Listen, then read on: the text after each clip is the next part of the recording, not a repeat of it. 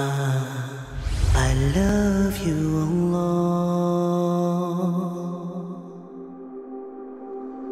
Brothers and sisters in Islam,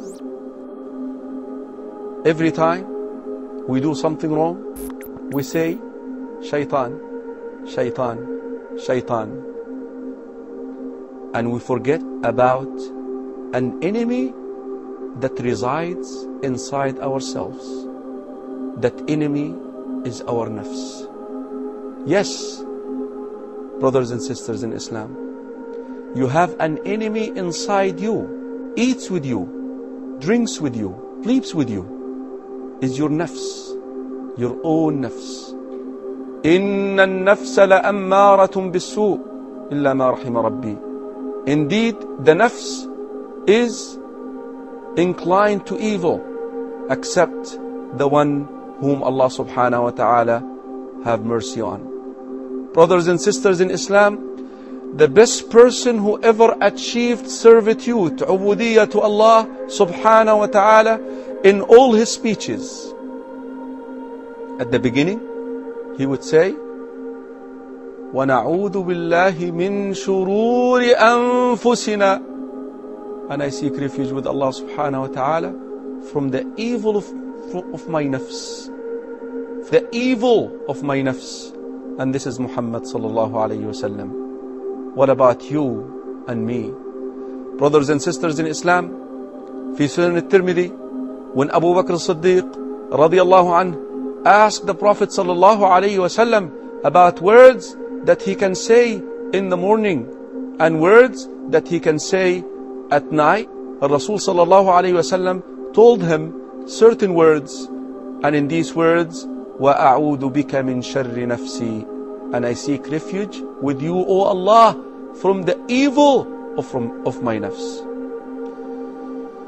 Brothers and sisters in Islam, a lot of Muslims are unaware of that enemy and they blame shaitan all the time.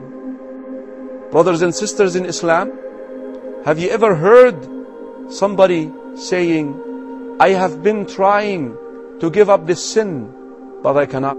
You know why?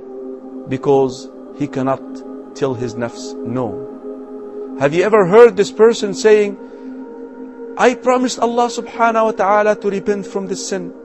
And I did for a week. And then I went back to it. You know why? Because of his nafs.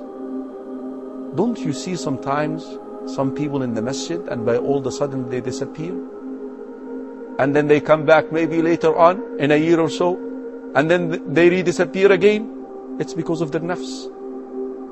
Don't you hear some people saying, I cannot give up that sin. I can because of their nafs. Brothers and sisters in Islam, the first arena of jihad is your nafs. You must wage war against your nafs in order to make it.